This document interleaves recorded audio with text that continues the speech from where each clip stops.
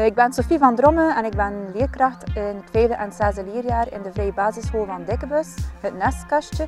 Vandaag gaan wij een wandeltocht doen voor iedereen tegen kanker. Dat is een initiatief van de Leerlingenraad. Voordat we aan de tocht beginnen gaan we ons een beetje opwarmen. En ik heb het glas op jouw gezondheid. Iedereen is van de wereld en de wereld is van iedereen.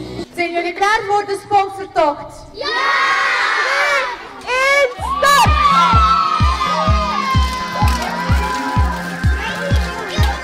Waarom zijn wij aan het wandelen, Imani? Vertel het eens.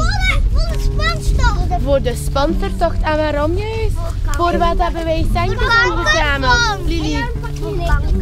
Ja, de kindjes of de mensen die een beetje kanker hebben, om hen te helpen. Eh, het is de eerste keer dat wij iets doen voor eh, Kom op tegen kanker. Eh, anders hadden we al, wel iets gedaan voor broederlijk dieren. Maar ik denk dat dit toch, dit toch wel dichter bij de kinderen staat.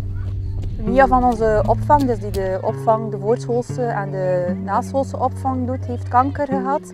Maar ze is nu gelukkig beter en kan al terugkomen werken. En ook een aantal leerlingen hebben wel iemand eh, in de familie of in de vriend- vriendenkring die kanker heeft. De eerste! De aankomst. En is plezant? Ja.